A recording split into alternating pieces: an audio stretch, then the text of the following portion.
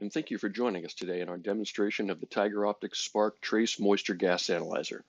In this video, we'll demonstrate how simple Tiger Optics analyzers are to install and to operate, and just how quickly you'll start taking measurements once the unit is installed. In fact, this entire video is just over three minutes from start to finish.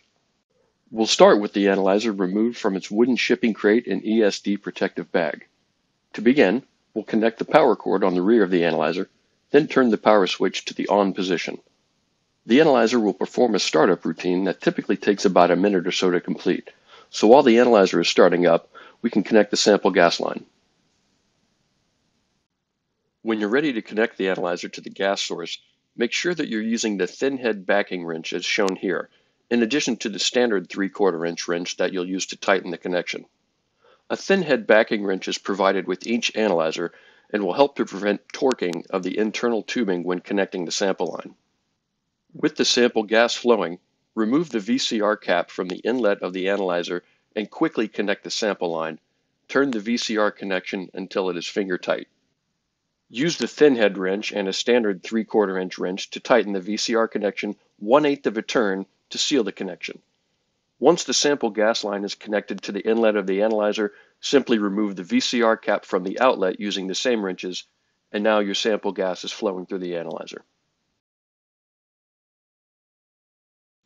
Once the startup has completed, press the Settings button to check the various menus and to configure the settings as may be needed.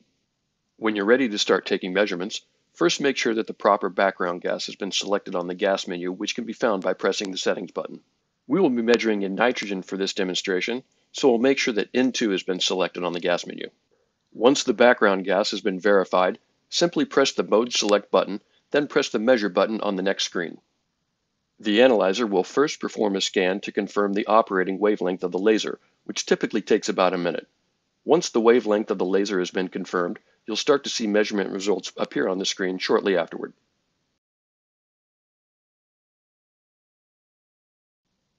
We can now see the first measurements from the Spark Analyzer.